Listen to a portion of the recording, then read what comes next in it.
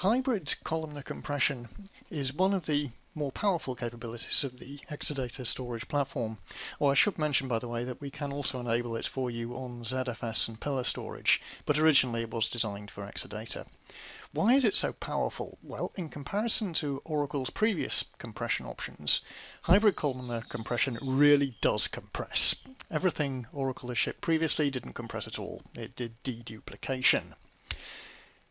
HCC is real compression and it comes with a choice of algorithms.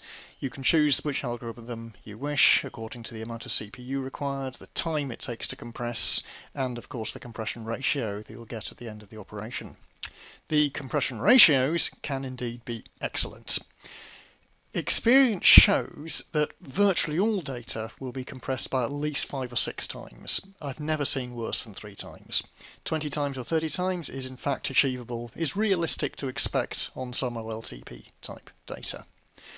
Performance is of course important. The compression workload itself should have no effect whatsoever on the compute nodes because all the compression is done by the cell nodes. Indeed, performance may well often improve because experience shows that it's far quicker to read a small amount of data from disk and decompress in memory than to read or write the uncompressed data to and from disk.